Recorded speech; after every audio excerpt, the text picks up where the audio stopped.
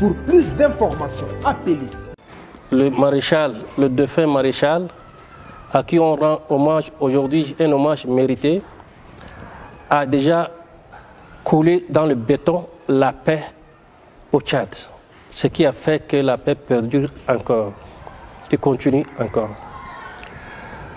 Pour les créateurs et inventeurs que je représente également, en tant que président du Conseil national des inventeurs et chercheurs tchadiens, on a toujours dit que le maréchal Idriss Déby Itno est le meilleur des inventeurs tchadiens. Il a inventé la paix Made in Tchad. Cette paix Made in Tchad a duré 30 ans et continue de nous euh, bercer encore. Et j'espère que ça continuera encore plusieurs décennies. Et pour ça, nous souhaitons que le Tout-Puissant, Allah, l'accueille dans son vaste paradis, dans son vaste royaume, parce que euh, l'héritage qu'il nous a légué, on a beaucoup profité. Les Tchadiens en ont beaucoup profité. Une paix de 30 ans durant,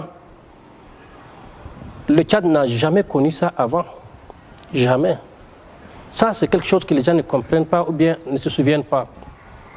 Jamais, depuis que le Tchad est le Tchad, il y a eu 30 ans de paix. On doit tirer chapeau à cette œuvre monumentale, à cet homme de grande envergure, à cet homme qui nous a redonné notre dignité tchadienne, voire africaine. C'est un grand visionnaire. Le maréchal nous a euh, non seulement légué la paix, il nous a également euh, donné beaucoup de conseils en tant que créateur et en tant qu'opérateur économique. Il nous a exhorté à créer de l'emploi au Tchad, à créer des usines au Tchad, à faire de la transformation de nos produits locaux. Comme vous pouvez constater ces derniers temps, moi personnellement, je tiens à cette promesse que j'ai faite au feu maréchal Idriss Déby Itno, comme quoi je vais créer des usines autant que je peux pour créer autant d'emplois que je peux. Et j'exhorte mes autres euh, partenaires d'en faire autant. Vous avez suivi que nous sommes sur le terrain en ce moment de la création des usines, comme l'avait souhaité le maréchal, de la transformation des produits locaux, comme l'a souhaité le maréchal, et également, euh, nous sommes en train de travailler pour euh, embaucher plus de Tchadiens dans le secteur privé, comme l'a souhaité le maréchal.